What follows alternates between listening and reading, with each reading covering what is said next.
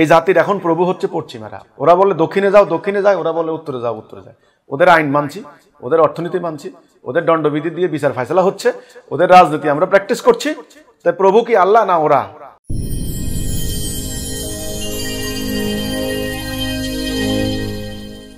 আল্লাহ তাআলা প্রভুত্বের আসনে নেই। এটা তো একেবারে বাস্তব কথা। এখন আপনি মানুষকে এই লাইনটুকু দিয়ে দিলে আল্লাহ প্রভু না। কিরে মানুষ তো পাগল হয়ে যাবে। আমার জবাই করে ফেলবে। আল্লাহ প্রভু না? এত বড় কথা। আমাদের প্রভু তো আল্লাহ। এ বলল এ কথা? আল্লাহ প্রভু না। এ সেলিম বলল, আল্লাহ প্রভু না। কথাটা কোন জায়গায় বলেছি? এই যে বর্তমান সভ্যতা, সভ্যতার আইন, কানুন, দণ্ডবিধি, অর্থনীতি, মানুষ মেনে নেয় নাই। মানুষ এই দাজ্জালকে, এই সভ্যতাকে রব বলে মেনে নিয়েছে। রব। তাদের সমস্ত উন্নতির প্রগতির, সমস্ত সমস্যার সমাধানের জন্য তারা এদের কাছে ধর্ণা দেয়। আল্লাহ দিনের কাছে তারা আসে না। এক হজের ময়দানে আল্লাহ সুবাহ নির্ধারণ করলেন যে আরাফাতের ময়দানে মুসলমানরা বৎসরে এক জায়গায় একত্রিত হয়ে যাবতীয় সমস্যার সমাধান করবে।